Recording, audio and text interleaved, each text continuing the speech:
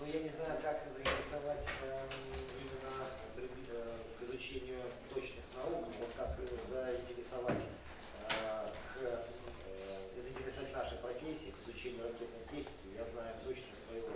Надо дать послушать, посмотреть, как работает выпуск реактивный двигатель. Хотя бы тот, который установлен у нас на кафедре. А уж если есть возможность своими глазами посмотреть такой эмоциональный заряд, который с человеком останется на всю жизнь, и если не, э, не даст толчок э, к освоению профессии ракетчика, то, по крайней мере, сделает его приверженцем космонавтики, который будет